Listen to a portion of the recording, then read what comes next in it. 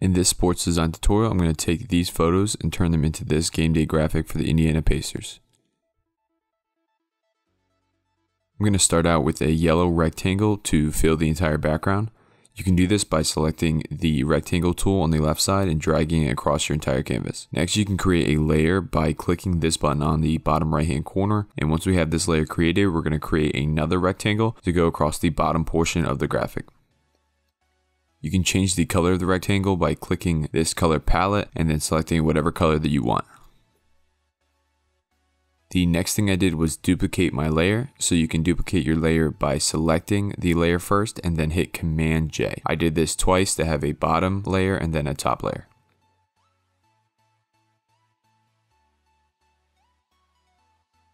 Next I added a text layer and I just scrolled through all my text that I have and I ended up going with the font Need for Font. I find all my fonts on Google, usually from recommendations from other designers, and I then duplicated this layer and I added a stroke to it. You can adjust the size of the stroke by moving this slider right here. And once you have the stroke up to whatever you want, you can then go to blending options and then reduce the fill opacity. What this is going to do is create an outline around your lettering, but it's not going to fill the inside. So it should look something like this.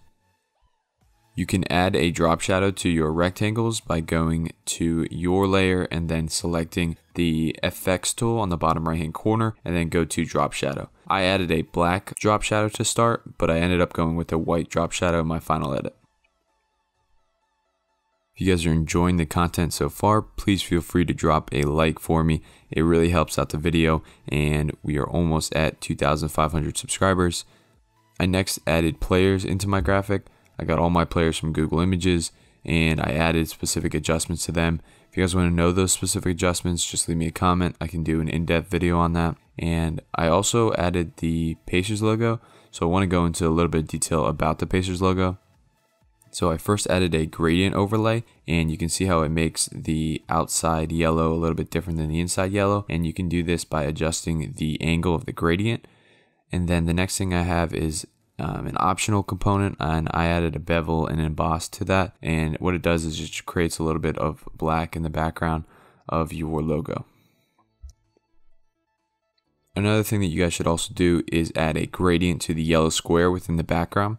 So we created that yellow square in the beginning of our graphic and now we're going to add a gradient to it and we're going to increase the size of the gradient so that the yellow is fading out towards the sides.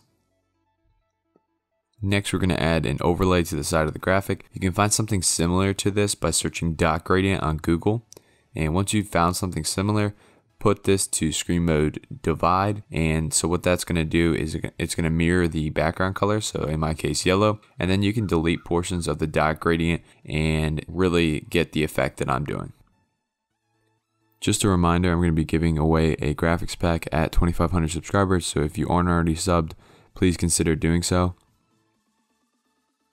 The last portion of this graphic is adding camera raw filter. This can be done by going up to filter and then going to camera raw filter. And we're gonna add a couple different adjustments here. So the first are texture and clarity. Texture and clarity just make your image pop more, just makes everything more crisp. And we're also gonna add a couple of different adjustments here. They are gonna be whites as well as shadows.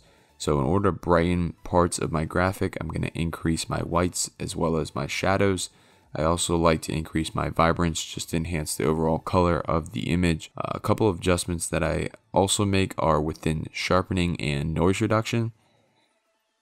In addition, you can add in a vignette and some grain for an added effect. What that does is it just adds a white shadow around the outside or a black shadow depending on which way you move your slider.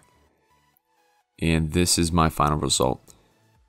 If you guys enjoyed today's video, please feel free to drop a like for me. And if you aren't already subscribed, please consider subscribing. I do a video every single week and I do design breakdowns just like this. And as always, have a good one.